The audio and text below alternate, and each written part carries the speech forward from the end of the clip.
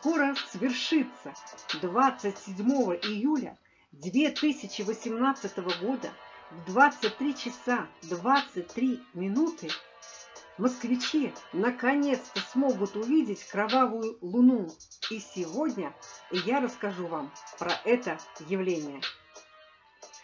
Кровавая луна – это астрологический термин затмения луны, во время которого она приобретает цвет крови густого красного оттенка. Кровавый оттенок поверхности Луны возникает только во время полных лунных затмений, когда поверхность Луны освещается не Солнцем, а красными рассеянными лучами земной атмосферы. В старину, кстати, очень боялись этого явления. Появление кровавой Луны предрекало нашествие темных сил. Тогда Луна считалась одушевленным предметом, а ее красный цвет – кровью, полученной в борьбе со злыми духами.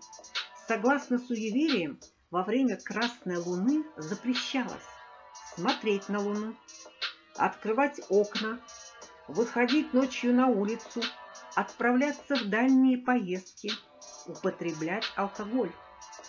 При игнорировании запретов несчастья могли свалиться не только на этого человека, но и на всю его семью. Если верить общеизвестному мнению, то во время алой луны люди становились более раздражительными, злыми, несдержанными.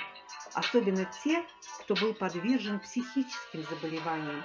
Такие люди были полностью неуправляемыми. Однако, такое время считалось подходящим для проведения магических ритуалов. Во время Красной Луны за какие бы ритуалы вы ни взялись, ваша сила и полученный результат приумножался в несколько раз. Но чтобы снизить негативное воздействие на человека во время кровавой луны, предки предлагали задобрить спутник. Для этого во двор или на подоконник выставлялся огромный круглый пирог. Именно круглый. Считалось, что получив пирог в дар, Луна человека не трогала. Но давайте вернемся в наши дни. В ночь с 27 на 28 июля 2018 года в небе над землей можно будет увидеть сразу два редких астрономических явления.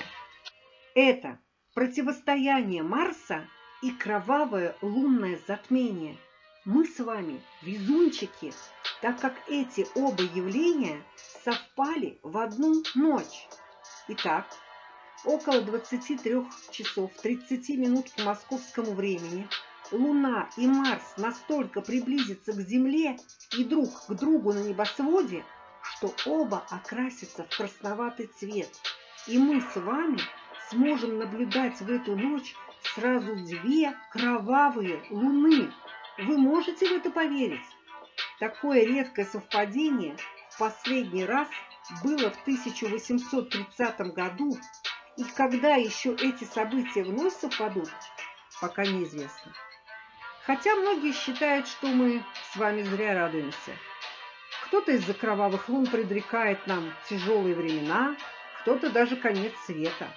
Якобы в Библии написано, что, цитирую, «Солнце превратится во тьму, и луна в кровь, прежде нежели наступит день Господень, великий и страшный. Однако, также цитатой из Библии можно и возразить, о дне же том или часе никто не знает, ни ангелы, ни сын, но только Отец наш Небесный. Поэтому быть или не быть к концу света, верить всему этому или не верить, решать каждому.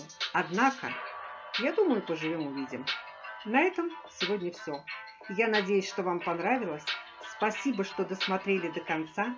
Ставьте лайки, подписывайтесь на канал. Будет еще интереснее.